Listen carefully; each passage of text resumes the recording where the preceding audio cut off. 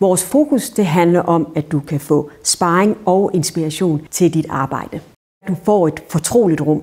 Et fortroligt rum, hvor du kan dele udfordringer og dilemmaer og få feedback på de udfordringer, du står med fra de øvrige deltagere. Den vigtigste grund til, at du skal være medlem af social media netværket, det er, at du møder folk, der arbejder i branchen, men som nødvendigvis ikke har den samme faglige baggrund som dig.